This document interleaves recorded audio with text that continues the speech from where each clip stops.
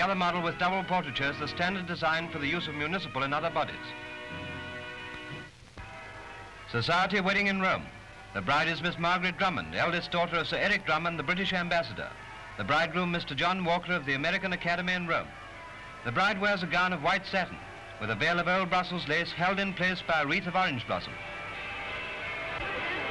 There is, of course, a great throng at the church, diplomats and their wives and members of British, American and Italian society. After the ceremony, Mr. and Mrs. Walker go to pray at the tomb of the Prince of the Apostles at St. Peter's. In Rome, too, is that illustrious couple, Colonel and Mrs. Lindbergh, on their way to Egypt.